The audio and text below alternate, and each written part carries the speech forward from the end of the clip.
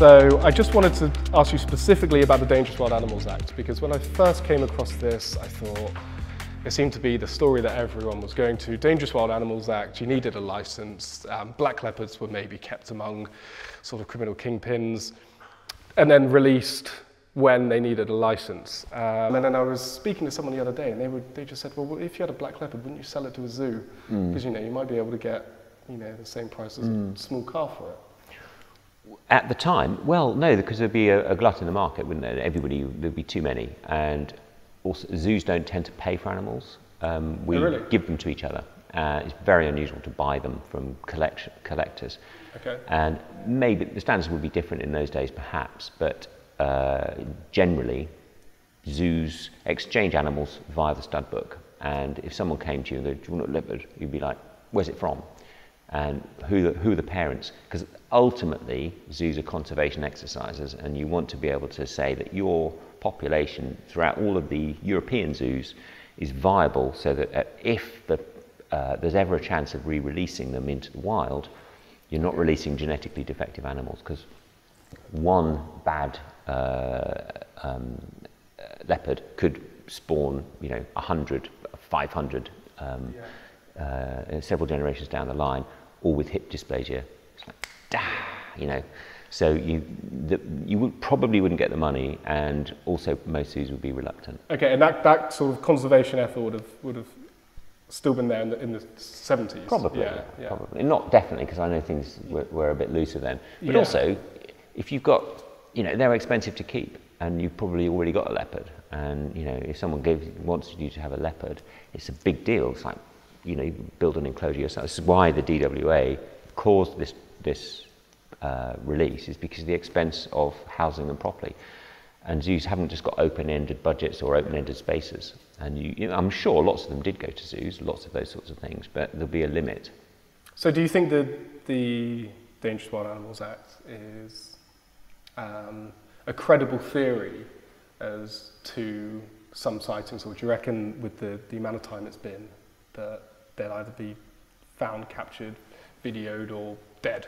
From now, the current sightings based on the DWA, I'd say that I would be amazed personally if there are any from 1976.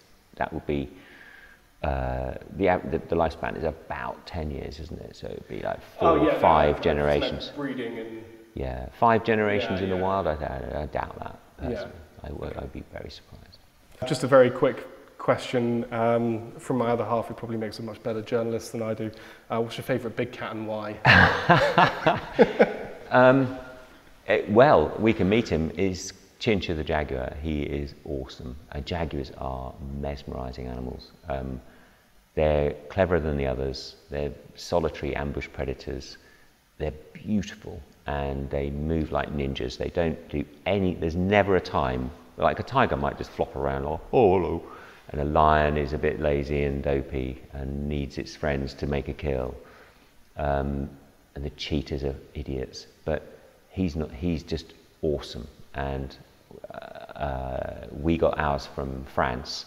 He was very stressed when he arrived because he was a he was two and he'd been sort of pushed out by his parents, and we had to take him. And he was he wouldn't engage with us even though we were reassuring him until I started speaking to him in French. And then he immediately looked at me like, ah, tu parles français. And he came over and he lay down like that and looked at me. Really? And he is just jaw-droppingly beautiful and mesmerizing. And he's the one who has the biggest effect on the servicemen, actually, because he's just scintillating.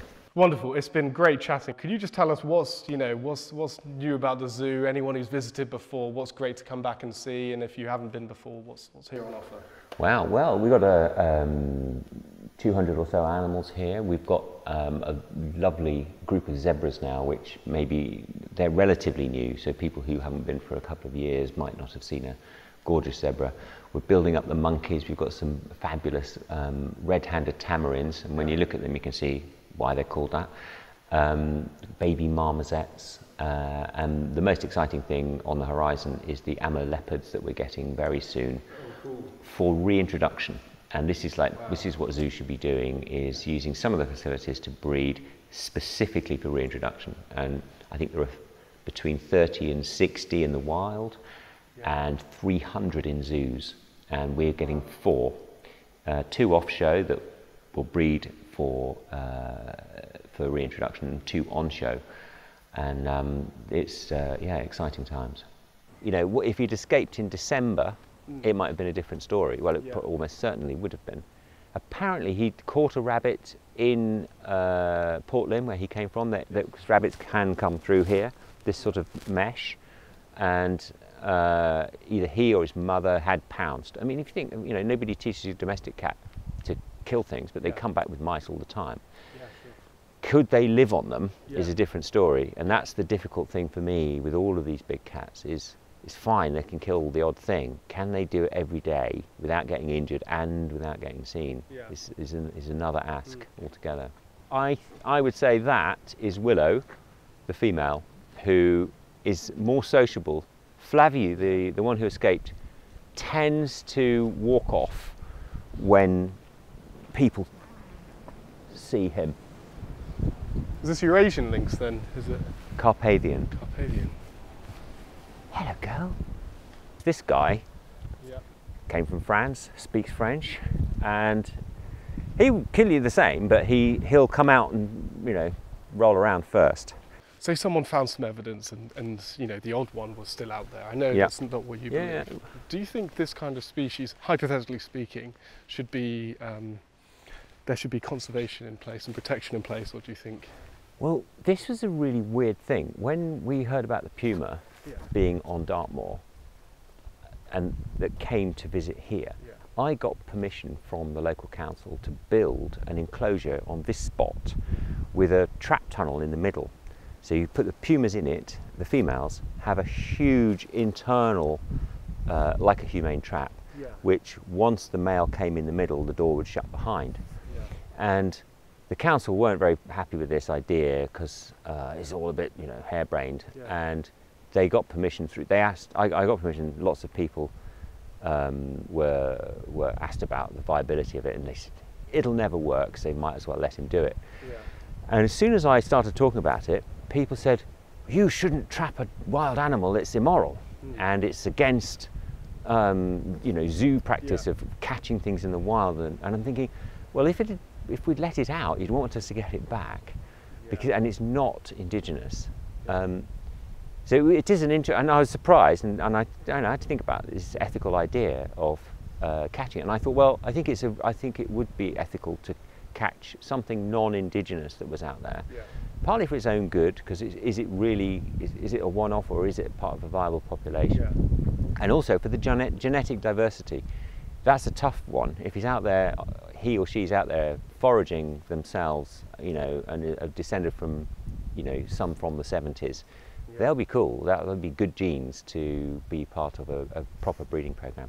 Yeah. It does raise issues, but um, if there are cats out there like uh, um, if, we, if you reintroduce the lynx, say, in yeah. these small areas where there are no, uh, no farmers and people, yeah. it, it will be really useful to do the whole trophic cascade thing for the local deer so you don't, won't have to go and um, them and yeah. you know, the wildlife will behave differently and all this sort of thing.